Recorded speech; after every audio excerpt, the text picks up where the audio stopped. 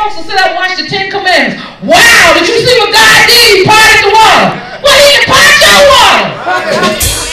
For real? Wow, did you see that? He turned the, the stick into a snake. Right, that's right. He can turn your sins into salvation. Amen. They can't believe all of that.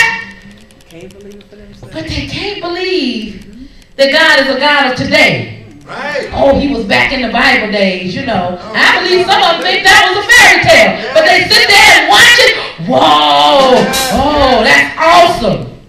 God can make you awesome. Yes, he can. He can turn your life around. Amen. He give you a new life. People in the neighborhood be said, wow, is that that person? They really changed. Wow. I, when God did that work to my brother, it just blew my mind. Because I'm going to tell you, he had gotten bad. He had gotten bad. The devil was really doing him bad. I would call the house and say, Brian, let me speak to mama. He said, hello, ma'am. I said, ma'am, what are you talking about? This your sister. Ma'am, you want to speak to mama? I mean, you want to speak to Mrs. Mack? He wouldn't say mama. He wouldn't acknowledge as if it was my mother and his mother. Amen. He said, ma'am, you want to speak to Mrs. Mack? I said, Brian, why are you calling me ma'am? And why are you saying Mrs. Mack? All right. I want to speak to mama. Okay, ma'am, I will uh, get Mrs. Mack for you. and when I would see him, he wouldn't give me the time of day. He was like, eh, wouldn't want to say nothing to me. I said, hi, Brian. Eh, yeah. He didn't have time. He wouldn't come around.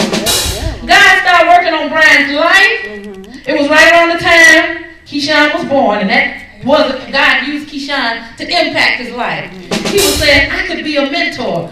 I could be uh, a, a role model for him if I was saved. I said, right, Brian. He, he started talking to me. That's what kind of got me first. I was like, wow, he talking to me. Because he used to wouldn't talk to me. Then he came to my house. Brian started working in that house when we first moved there. Amen, praise God. He started working in that house, cleaning it up, whatever they told him to do. And when he got ready to leave, he said, he came to me, he said, it was a pleasure being, that blew my mind, just blew me away. He said, it was a pleasure being here. He said, and I want to thank you because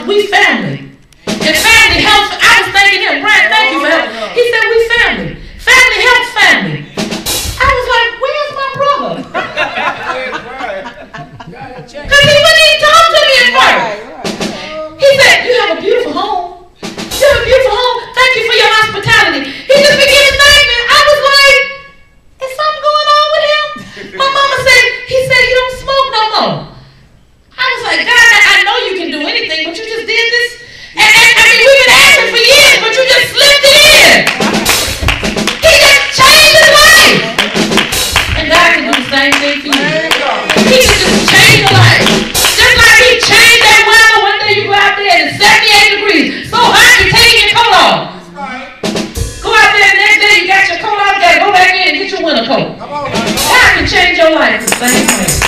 Yes, he can. The same way. From night to day. That's right. Turn your life around. Yes, yes.